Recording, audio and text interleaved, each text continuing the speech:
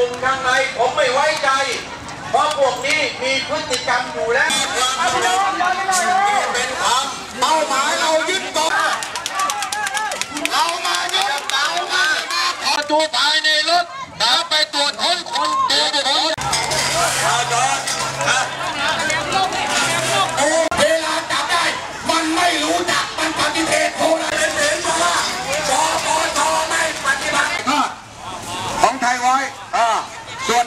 พี่น้องอย่าเพิ่งไปกินนะล้างสดไอ้วนเข้ามาเก็บเข้ามาครับ